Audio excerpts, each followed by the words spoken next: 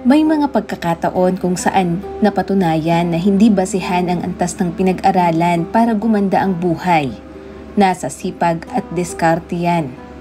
Gayunpaman, napakahalaga pa rin ang edukasyon at diploma dahil ang ating kaalaman kailanman ay hindi mananakaw ng iba. Ngayon, ibabahagi ko sa inyo ang kwento na siguradong kapupulutan natin ng aral at inspirasyon kaya naman, inaaniyahan ko kayong manood hanggang sa dulo ng videong ito.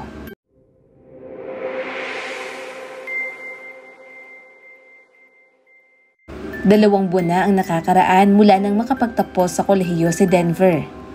Masipag siya at matalino, kaya naman graduate siya bilang cum laude. Umalis siya sa probinsya at ngayon ay nasa Maynila na. Nakikipagsapalaran dahil naniniwala siya na ang oportunidad ay nasa lungsod.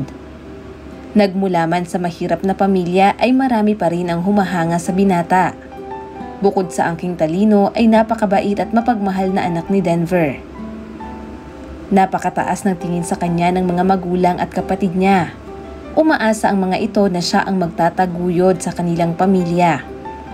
Ang tatay niya ay mangingisda ang kanyang nanay naman ay tindera ng isda sa palengke. Nakatira lamang sila sa maliit na kubo sa tabi ng dalampasigan, kasama ang lima niya pang nakababatang kapatid. Pero hindi naging hadlang ang kahirapan nila upang mangarap ng mataas si Denver. Ipinangako niya sa sarili na siya ang mag-aahon sa pamilya niya sa hirap. At ito nga, tapos na siya sa pag-aaral at naghahanap na ng mapapasukang trabaho. Para sa kanya, ito na ang simula ng pag-abot niya sa kanyang mga pangarap. Mula ngayon ay dito ka na matutulog ha. Kaunting dinis lang at maayos din itong kwarto. Pasensya na, maliit lang itong bahay ko eh. Wika ng tiyahin niya na nakatira sa Maynila. Pansamantalang makikitira muna siya sa kanyang tiya Camila habang naghahanap pa siya ng trabaho. Ang tanging alam lamang niya sa tiyahin ay kapatid ito ng kanyang ina matandang dalaga at retiradong kawani ng gobyerno. Maliban doon ay wala na. Ngayon niya lang ito makakasama kaya wala siyang kaide-ideya sa ugali ng babae. Pero sa tansya niya naman ay mabait ito. Okay lang po ako tita. Maraming salamat po sa pagpapatuloy sa akin sa bahay ninyo. Ipinapangako ko po na kapag nakahanap na ako ng trabaho ay babawi po ako sa lahat ng naitulong niyo sa akin. Tugon niya sa tiyahin. Napansin niya na bukod sa madilim ay masikip pa ang kwartong iyon na ibinigay sa kanya ng babae. Pero malaking pasasalamat niya dahil kahit papaano ay may matutulugan siya kaysa naman sa wala. Sige, aasahan ko yan ha, pamangkin. Ilagay mo na ang mga gamit mo sa loob at pagkatapos ay saluhan mo na akong kumain, sabi ng tiyahin niya. Isang araw, maagang bumangon si Denver upang tumulong muna sa mga gawaing bahay bago umalis at maghanap ng trabaho. Good morning tita. Tara po at mag-almusal. Nagluto po ako at naihanda ko na rin sa mesa. Sabi niya sa tiyahin na kagigising lang. Aba, ang aga mong gumising ah. At nakapaghanda ka na pala ng agahan natin, nakakatuwa ka naman. Masayang tugon ng babae. Sa pamamagitan lamang po niyan ay makakabawi ako sa inyong kabutihan tita. Sagot naman ni Denver. Pagkatapos nilang kumain ay nagmamadali na siyang umalis para maghanap ng trabaho. Nakailang apply na siya sa iba't ibang kumpanya pero hindi pa rin siya natatanggap. Palaging sinasabi sa interview na tatawagan na lamang siya. Ang akala nga niya ay madali siyang matatanggap dahil sa cum laude naman siya pero hindi naman pala. Kung ako sa iyo ay hindi na ako mag-aaksaya ng panahon na mag-apply dito o sa ibang kumpanya sa posisyong iyan dahil hindi ka matatanggap. Ang ihahire nila ay ang mga katulad kong nakapagtapos sa mas kilalang universidad kaysa sa gaya mong graduate lang sa pipitsuging kolehiyo sa probinsya. Mayabang at nang mamaliit na sabi ng binatang nakaupo sa tabi niya at mukhang naghihintay rin ng resulta ng interview. Ilang saglit lang ay nalaman na nila ang resulta. Tama nga ang binata dahil ito ang natanggap sa kumpanyang inaaplihan niya.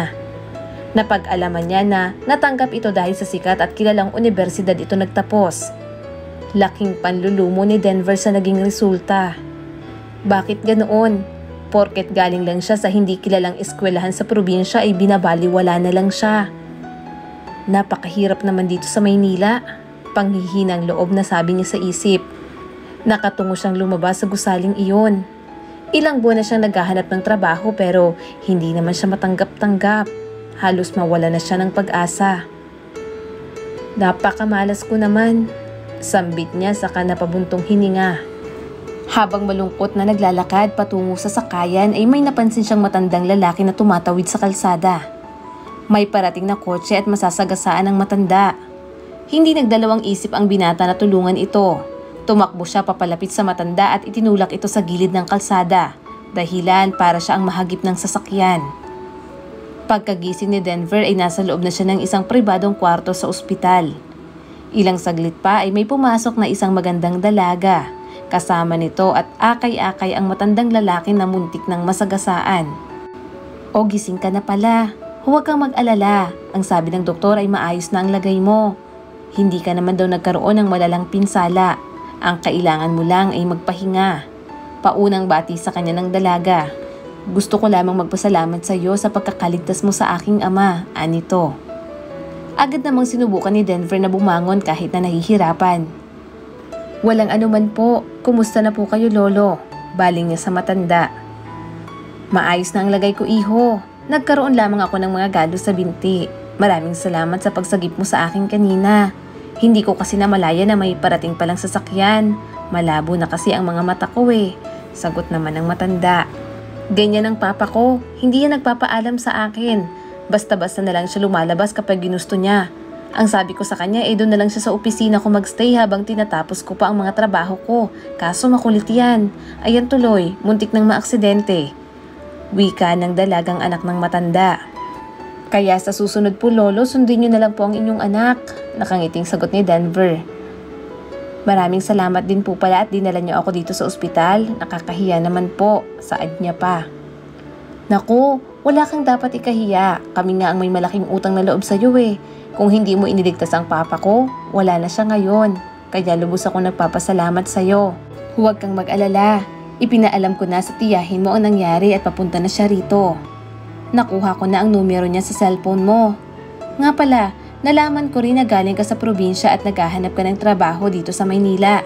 Nakita ko kasi na may mga resume ka sa bag mo at napahanga mo ako. Cum ka pala at ang taas ng mga grades mo sa school. Uwi ka ng dalaga. Tumango naman si Denver. Opo, ilang buwan na po ako rito sa Maynila at ilang buwan na rin po ako naghahanap ng trabaho pero hindi po ako natatanggap dahil hindi raw po ako graduate sa kilalang universidad. Ganun ba? Pues, may trabaho ka na kapag lumabas ka rito dahil kukunin kita bilang aking assistant sa opisina. Tamang-tama, Kaka-resign lang ng assistant ko nung nakaraang araw at wala pa akong nakikitang kapalit kaya ikaw na ang i-hire ko sa posisyon. Ang posisyong iyon ang ina-applyan mo sa ibang kumpanya, 'di ba? So, welcome sa company namin. Ako nga pala si Ingrid Capistrano, ang tumatayong CEO sa kumpanya ng papa ko. Matagal na siyang retirado kaya ako ang humahawak sa business namin. Hayag pa ng dalaga. Sa sinabing iyon ng babae ay hindi napigilan ni Denver na maiyak. Naku, maraming salamat po ma'am. Nakakahiya naman po. Ano ka ba? Nahihiya ka na naman eh. Pasasalamat ko iyan sa iyo dahil hindi lahat ng tao ay kayang ibuwis ang buhay para sa iba, lalo na sa taong hindi nila kilala. Kaya naman, karapat dapat kang gantimpalaan, Mr. Denver Santos. O ayan, pati pangalan mo binuo ko na ha. Paglabas mo dito sa ospital ay magpahinga ka na muna ng ilang araw. Pagkatapos ay pumunta ka na sa opisina para makapagsimula ka na. Diyan lang ang kumpanya namin sa tapat nitong ospital. At isa pa pala, tandaan mo na wala sa eskwelahan kung saan ka nag-aral ang batayan ng pagtatagumpay. Nasa tao yan at sa iyong angking galing at talino, sabi pa ng dalaga. Hindi makapaniwala si Denver sa naging takbo ng kanyang kapalaran. Ilang taon nang lumipas mula nang nangyari iyon at ngayon nga ay naiahaw niya na ang kanyang pamilya sa kahirapan dahil mataas na ang posisyon niya sa kumpanya ni na Ingrid. Sinuklian niya ang kagandahang loob ng babae sa pamamagitan ng pagtatrabaho ng maayos at pagiging tapat sa kumpanya nito. Tinulungan din niya ang mabait niyang tiyahin at binigyan niya ito ng sariling negosyo. Regalo niya sa pagpapatira nito sa kanya noon. Bukod sa magandang trabaho at magandang buhay ay nahanap din ni Denver ang tunay na pag-ibig sa katauhan ni Ingrid. Mula sa pagiging magkaibigan ay nahulog ang loob nila sa isa't isa at nauwi sa pag-iibigan. Nagpakasal sila at may dalawa na silang anak.